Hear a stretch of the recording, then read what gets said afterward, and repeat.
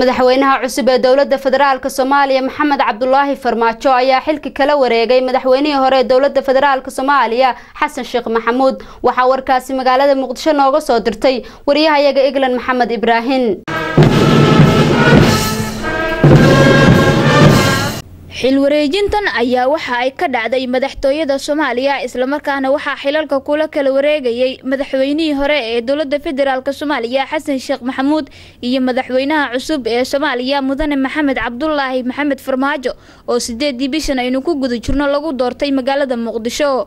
Goobta ay xilwareejintu ka dhaceysay ayaa waxaa gobjoog ka ahaa guddoomiyeyaasha labada aqal ee baarlamaanka soomaaliya xildhibaano iyo wasiiro ka tirsanaa dowladda xilligeedu dhammaaday xasan sheekh maxamuud madaxweynihii hore ee dalkeena soomaaliya ayaa sheegay in uu ku faraxsan yahay xilwareejintan isagoona intaa ku daray in uu la shaqayn doono dowladda cusub ee uu hogaaminayo mudane maxamed cabdulaahi maxamed farmaajo.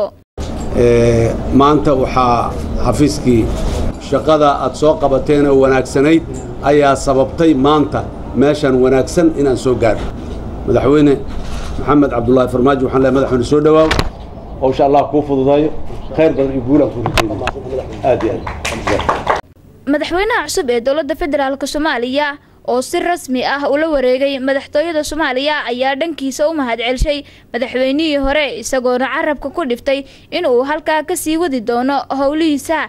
Shacabka soomaaliyeedna ugu baaqay in ay la shaqeeyaan dowladda si buu yidhi soomaaliya mar kale nabad loogu soo dabaalo.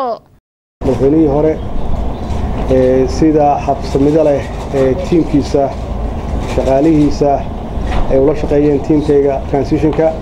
Waa maalin taariikhi ah oo ummadda soomaaliyeed iyo caalamka meel kasta ay arkayaan sida aan isugu wareejinayno nidaamka iyo dowladnimada. Runtii waa maalin taariikhi ah. Waxaan rabaa inaan u mahad celiyo shacabka soomaaliyeed meel kasta ay joogaan. Waxaan ugu bishaaraynayaa dowladdani waa dowlad shacab idinkaa iska idinkaan dib idinkugu soo celinaynaa. Dad waalaan wada nahay kulligeen waxbaa naga hallaabay laakiin aan u qaadanna hadda inaan hurdadii ka kacnay waan isweyddiinno xaggee joogtaan. Wakhti fiican yaa soo socda.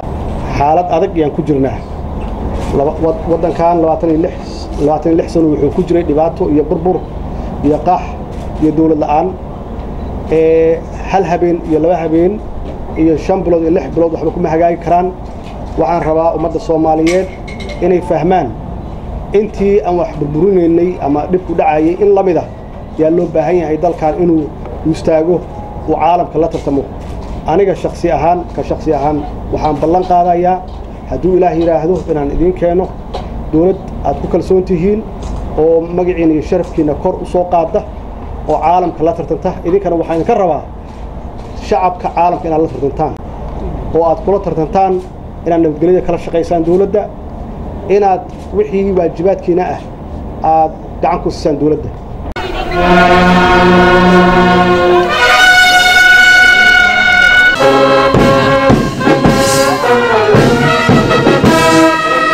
Iyadoo labiiyo labaatanka bishana la filayo in munaasabad caynkan oo kale ah ay ka dhacdo magaalada muqdisho taa oo lagu caleemo saarayo madaxweynaha cusub ee dowladda federaalk soomaaliya mudane maxamed cabdulaahi maxamed farmaajo igla maxamed ibraahim warbaahinta s b c magaalada muqdisho